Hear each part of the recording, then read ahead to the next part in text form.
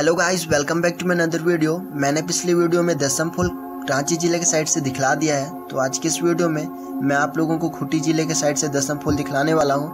और मैंने पिछले वीडियो में आप लोगों से कहा था कि मैं आप लोगों को दसम फुल की एक सच्ची घटना बतलाऊँगा, जिससे कि आप लोगों को यकीन हो जाएगा कि छैला संधु की आत्मा अभी भी वहाँ भटक रही है। गाइस तो मैं अभी जो आप लोगों को कहानी बतलाने वाला हूँ, ये कोई मनगढ़ंत कहानी नहीं है।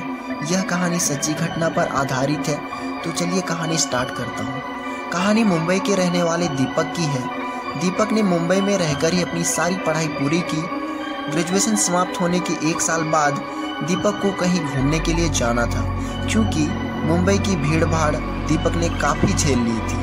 इस घनी आबादी वाले क्षेत्र से निकलकर दीपक को कहीं खुले वातावरण में जाना था, जो प्राकृतिक छटाओं से भरा पूरा हो। दीपक के जहन में झारखंड की राजधानी रांची का ख्याल आया।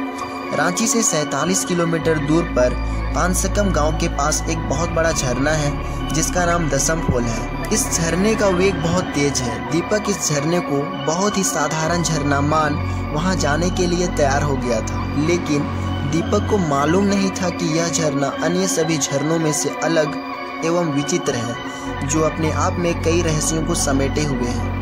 दीपक अकेला ही झारखंड जाने के लिए तैयार था। और अगले ही दिन दीपक वहाँ पहुँचा तो वहाँ के वातावरण ने दीपक के मन को मोह लिया। चारों ओर बड़े बड़े पेड़ एवं घने जंगल जिसकी हरियाली देख मन को सुकून देने वाली थी। दीपक बेहद खुश था यहाँ तक पहुंचकर। दीपक पान सकम गाँव तक पहुँच गया, जहाँ से दसम फूल शुरू होता था। पान सकम गाँव में पहुँचते ही दीपक ने आदिवासियों की कई झुंड को देखा और वहाँ मौजूद स्थानीय लोगों की जानकारी लेकर दीपक दसम फूल तक पहुँच गया। इतने बड़े झरने को देख दीपक की आँखें चकाचौंध हो गई। पहाड़ की ऊंचाई से गिर रहे पानी के मोटे धार जब तल पर मौजूद चट्टान से टकरा रही थी तो उससे एक अलग ही ध्वनि निकल रही थी, जो सीधे दिल पर दस्तक दे रही थी। उस बड़े झरने के बगल में दीपक को एक बहुत बड़ा सुरंग दिख रहा था।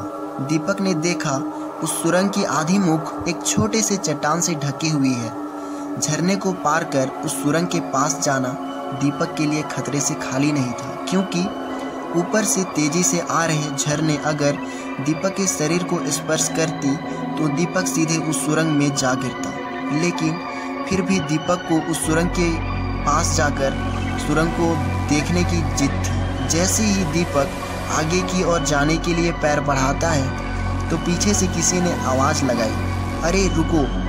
दीपक तुरंत पीछे मुड़कर देखा। वहाँ एक व्यक्ति खड़ा था। उसने दीपक को बताया कि यह झरना बहुत ही खतरनाक है। अगर यहाँ थोड़ी सी भी असावधानी बरती जाए तो मौत तय है। उस व्यक्ति ने यह भी बताया कि इस झरने के चक्कर में कई आदमी इस सुरंग के अंदर चले गए हैं, जिनकी आज तक कोई भी खोज खबर नहीं है। दीपक को उस आदमी की सारी बातें फिजूल लग रही थी। उस समय तो दीपक ने उसकी बातें मान ली, लेकिन जैसे ही वह वहाँ से गया, दीपक तुरंत ही उस सुरंग की ओर आगे बढ़ने लगा। झरने के नीचे बड़े बड़े चट्टान मौजूद थे, जिन पे काफ़ी फिसलन थी, लेकिन दीपक चट्टानों से बचता बचता उस सुरंग के समीप पहुँच गया। बाहर से देखने पर सुरंग के भीतर काफ़ी अंधेरा दिखाई दे रहा था। दीपक के शरीर के ऊपर झरने के थोड़े थोड़े धार गिर रहे थे। पर उनमें उतनी ताकत नहीं थी कि दीपक को गिरा सके। दीपक अपने हाथों से उस सुरंग के आगे रखे छोटे से चट्टान को हटा दिया। जैसे ही दीपक ने उस चट्टान को हटाया तो पता नहीं कहाँ से झरने की धार इतनी तेज हो गई कि दीपक अपने आप को संभाल नहीं पाया और उस सुरंग में जा गिरा। दीपक सुरंग में गिरने के बाद बेहोश हो गया था और जब उसे होश आया तो दीपक अपने आप को घास के एक बड़े ढेर पर पाया। दीपक चौक कर उठ गया और इधर उधर देखने लगा। दीपक काफ़ी घबरा गया था। दीपक को समझ नहीं आ रहा था कि वह कहाँ है। यहाँ चारों ओर चट्टाने थी और अंधेरा भी छाया हुआ था। दीपक ने ऊपर देखा तो सुरंग की मुख दिखी, जिससे रोशनी आ रही थी और झरने की आवाज़ भी। यह आवाज़ और यह रोशनी दीपक को थोड़ी सुकून देने वाली थी, लेकिन यहाँ से ऊपर तक, तकरीबन 60 से 70 फीट की दूरी थी। दीपक को समझ नहीं आ रहा था कि ऊपर कैसे पहुँचा जाए। दीपक ऊपर चढ़ने की काफ़ी कोशिश कर रहा था, लेकिन पहुँच नहीं पा रहा था, क्योंकि झरने के पानी से चट्टानों के बीच काफ़ी फिसलन थी और थोड़ी पानी भी अंदर गुफा में आ रही थी। धीरे धीरे अब शाम होने वाली थी। दीपक को लग रहा था, अगर इस गुफा से बाहर ना निकला जाए तो उसकी मौत निश्चित है। दीपक ने अपनी बाई तरफ़ देखा तो उसे एक छोटी सी गली जैसी दिखाई दे रही थी, जो गुफा के और भीतर ले जा रही थी। दीपक द्विधा में था, आखिर यह सुरंग किस तरफ़ जाता है? क्या यह उसे बाहर तक ले जाएगा? यह सोच दीपक उस छोटी सी सुरंग के भीतर प्रवेश कर गया। अंदर ऐसा लग रहा था, मानो यहाँ इसे किसी ने बनाया हो। जैसे जैसे दीपक अंदर की ओर प्रवेश कर रहा था, गुफाएँ और भी डरावनी होती जा रही थी। कम से कम पंद्रह मिनट तक चलते चलते सामने में एक बड़ा सा गुंबद दिखा और एक खुली जगह थी। सामने गुंबद के नीचे जो खाली स्थान था, उसमें जो दीपक ने देखा, दीपक के होश उड़ गए। दीपक ने अपनी आँखों से देखा कि लोहे के छोटे छोटे चकमुद्दों में लोहे की मोटी जंजीरों से ढेर सारे नर कंकाल बंधे हुए थे। देखने में ऐसा लग रहा था, मानो उन्हें कई वर्षों से वहाँ कैद कर रखा गया हो। कुछ नरकंकालों की अस्थियाँ पुरानी होकर ध्वस्त हो गई थी। दीपक सोच रहा था, हो ना हो, कहीं मेरी हालत भी इन लोगों जैसी ना हो जाए। इसलिए दीपक तुरंत ही उल्टे पाँव गुफा के बाहर की ओर भागा और वही आकर रुका जहाँ वह गिरा था। दीपक गुफा के ऊपर की ओर देख रहा था। अचानक उसे ऐसा लगा, मानो गुफा के मुख के सामने से कोई गुजरा हो। दीपक ज़ोर ज़ोर से, बचाओ बचाओ बचाओ, की दहाड़ लगा रहा था।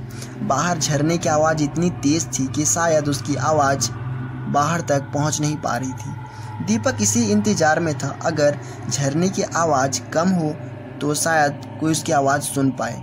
तकरीबन एक घंटे तक ज़ोर ज़ोर से चिल्लाने पर किसी ने दीपक की आवाज़ सुन ली और वह गुफा तक पहुँचा। उसे देख दीपक को जीने की आस लौट गई। शायद वह कोई आदिवासी ही था।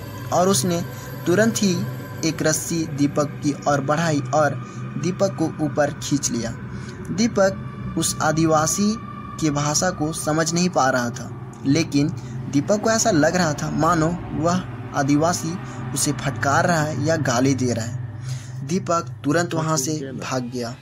उसी दिन दीपक मुंबई की गाड़ी पकड़कर मुंबई लौट गया। बाद में इसकी चर्चा उसने अपने घर वालों से की। उस घटना को जब भी दीपक याद करता है तो उसकी रूह काँप उठती है। दीपक सोचता है, आखिर वह कौन था जो गुफा के सामने से गुजरा था? और उस सुरंग के भीतर इतनी सारी लाशें किसकी थी? गाइस तो ये स्टोरी पूरी सुनने के बाद आप लोगों को यकीन तो हो गया होगा कि छैला संधू की आत्मा अभी भी दसम फूल के आसपास भटक रही है। तो आप लोगों को स्टोरी कैसी लगी प्लीज़ मुझे कमेंट करके बतला देना। और चैनल पर नए हो तो प्लीज़ चैनल को सब्सक्राइब करके बेल आइकन दबा देना। मिलता हूँ नेक्स्ट वीडियो में। Bye take care love you all